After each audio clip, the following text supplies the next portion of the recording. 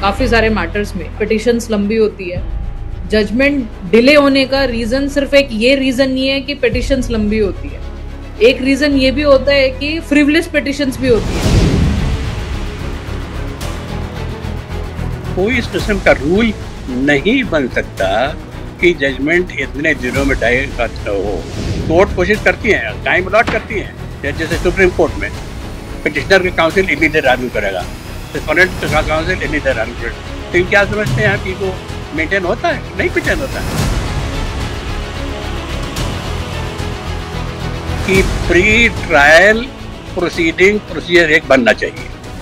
उस प्रोसीडिंग में पार्टीज़ जो है वो अपना अपना केस एक दूसरे को कम्युनिकेट करें।